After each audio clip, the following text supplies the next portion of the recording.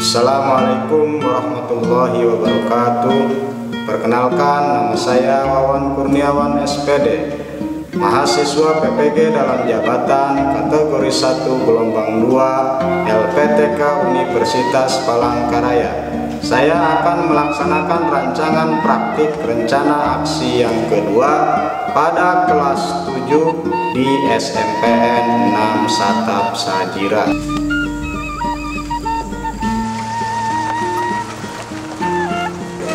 Baik, anak-anak, silakan disiapkan terlebih dahulu. Sebelum belajar, berdoa mulai.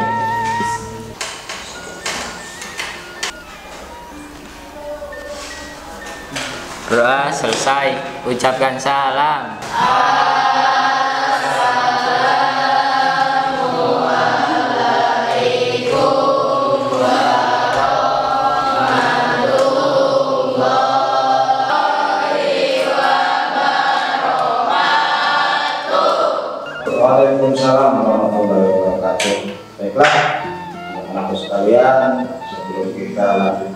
materi, Bapak.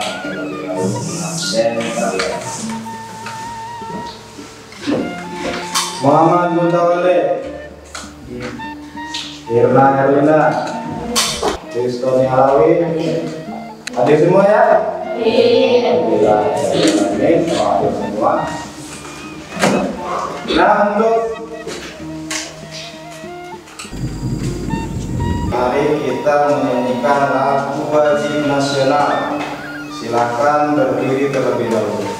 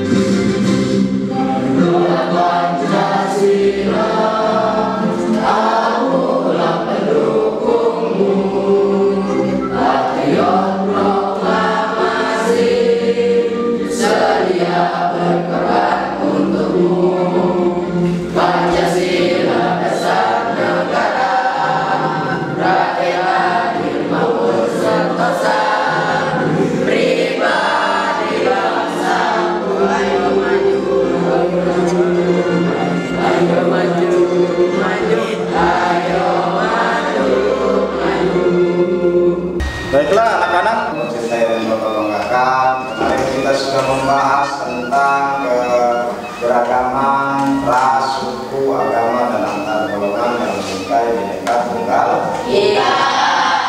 Sekarang kita melangkah ke pelajaran yang selanjutnya yaitu di bab 5 kerjasama dalam dalam berbagai bidang kehidupan. Ada yang tahu apa pengertian dari gotong royong? Pak, Ya silakan Najwa. pengertian gotong royong adalah bekerja bersama-sama untuk suatu hal yang keberhasilannya akan dinikmati bersama-sama.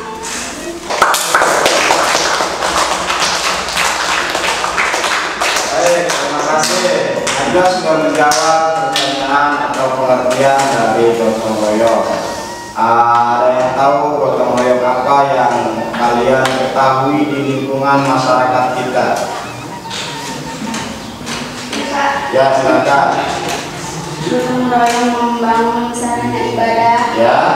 gotong royong membersihkan kuburan, kuburan dan ronda. Ya. Terima kasih. Tepuk tangan.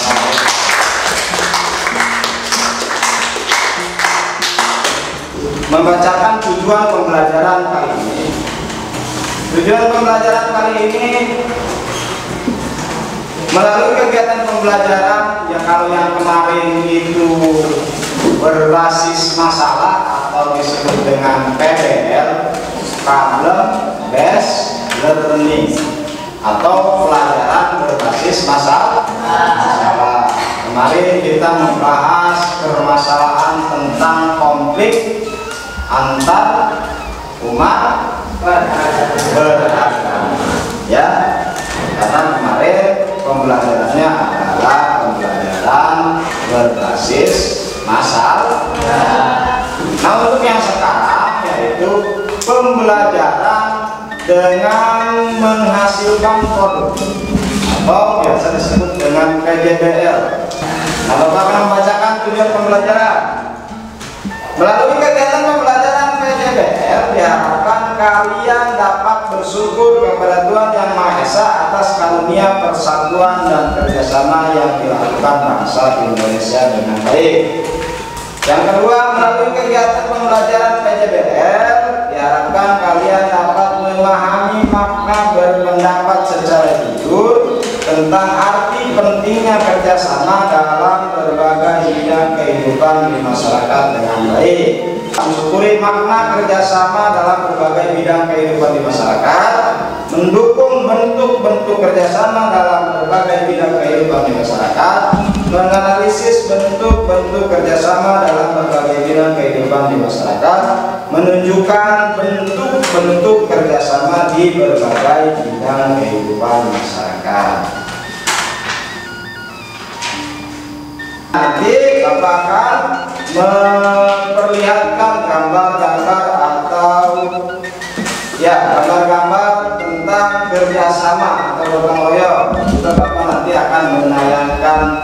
video tentang kerjasama dalam berbagai bidang kehidupan.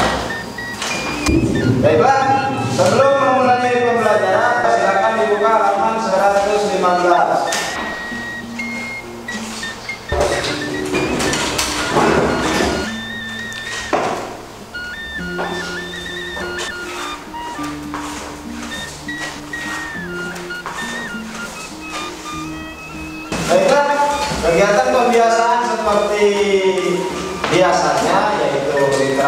membaca sering kita terapkan ya dalam kegiatan pembelajaran kita sehari-hari. Nah, sekarang Bapak akan menayangkan video tentang bentuk-bentuk kerjasama dalam berbagai bidang kehidupan. Silahkan kalian analisis, eh, telaah, dan amati dengan baik. Kemudian ada yang mempresentasikan ke depan dan kelompok lain tolong menanggapinya. Paham ya? Kerjasama dalam berbagai bidang kehidupan. Sejarah mencatat bahwa perjuangan bangsa Indonesia dalam merebut dan mempertahankan kemerdekaan merupakan hasil kerjasama rakyat yang berjuang mengusir penjajah dari bumi Nusantara. Bangsa Indonesia meyakini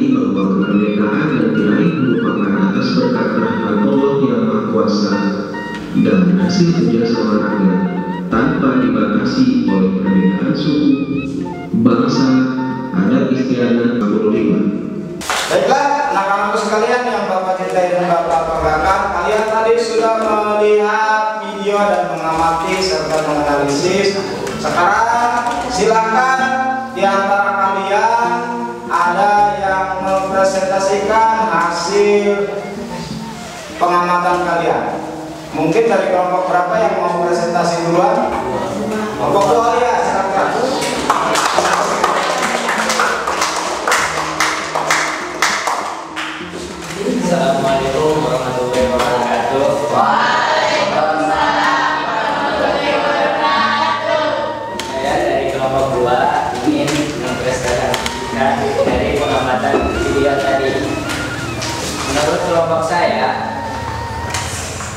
Menurut kelompok tujuan nasional bangsa Indonesia yang hendak dicapai melalui upaya pembangunan nasional tercantum dalam pembukaan Undang-Undang Dasar Negara Republik Indonesia tahun ser- tahun 1945 alinea keempat yaitu sebagai berikut. Untuk melindungi segenap bangsa Indonesia dan seluruh tumpah darah Indonesia memajukan keseja- kesejahteraan umum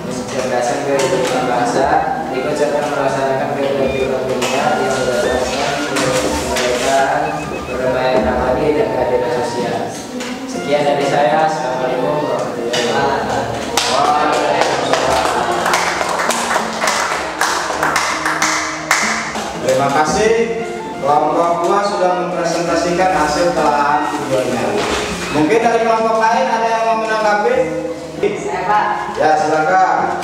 Mohon. menurut kelompok saya Gotong royong berarti bekerja bersama-sama untuk mencapai suatu hasil yang didambakan. Ya.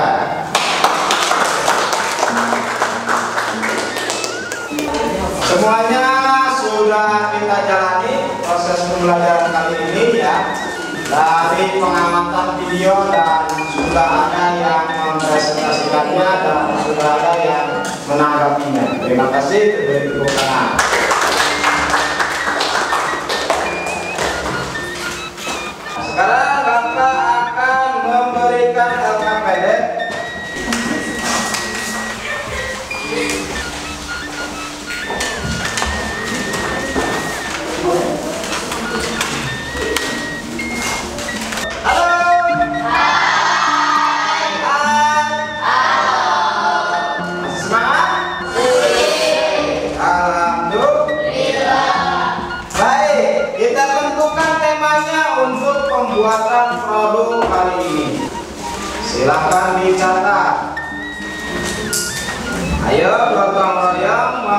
Membersihkan lingkungan. Sesuaikan dengan tema yang tadi sudah kita sepakati. Ya.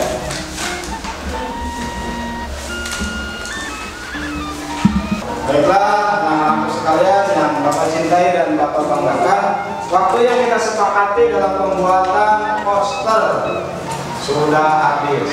Oleh karena itu, silakan di antara kelompok kalian siapa kelompok atau kelompok mana yang mau presentasi duluan.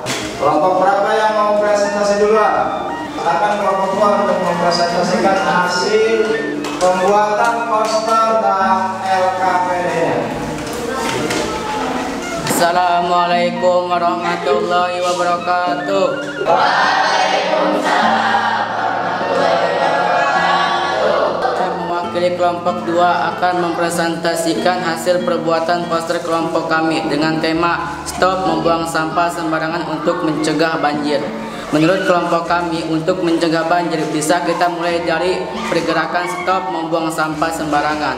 Hal ini tidak bisa dilakukan sendiri, melainkan harus bersama-sama. Dan ruang li- lingkungnya bukan hanya satu negara, melainkan dunia. Karena nampak jelas dari poster yang kami buat ini, banjir diakibatkan karena membuang sampah sembarangan. Sekian yang dapat saya mempresentasikan yang saya presentasikan. Kalam. Wassalamualaikum warahmatullahi wabarakatuh.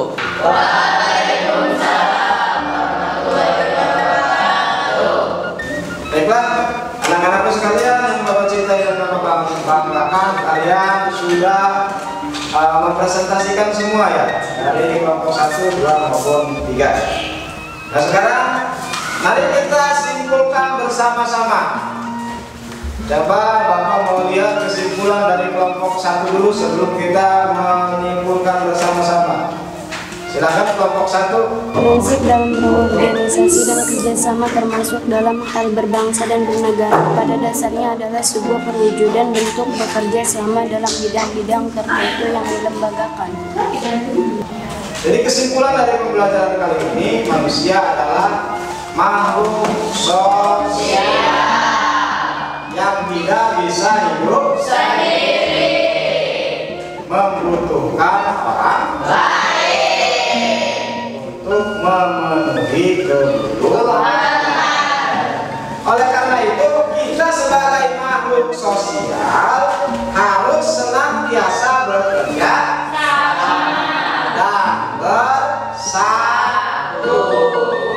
sebagaimana tentuan dalam sila ketiga Pancasila.